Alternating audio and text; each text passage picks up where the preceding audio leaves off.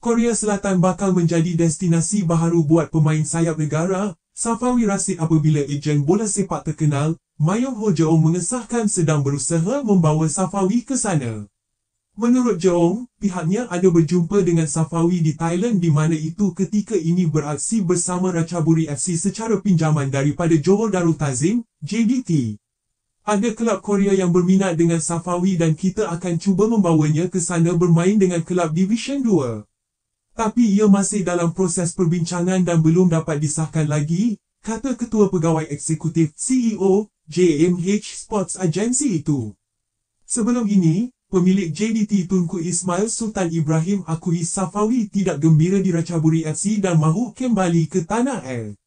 Namun Tunku Ismail masih belum memutuskan apa-apa mengenai status Safawi yang masih kekal beraksi di Thailand ketika ini.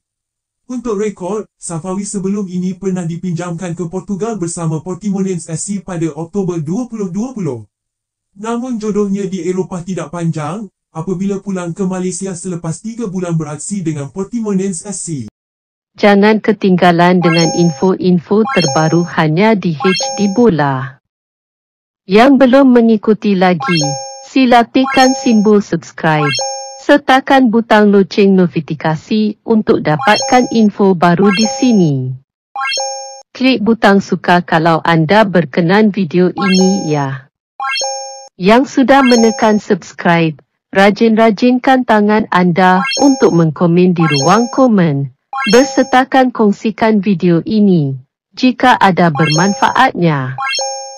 Itu saja, terima kasih.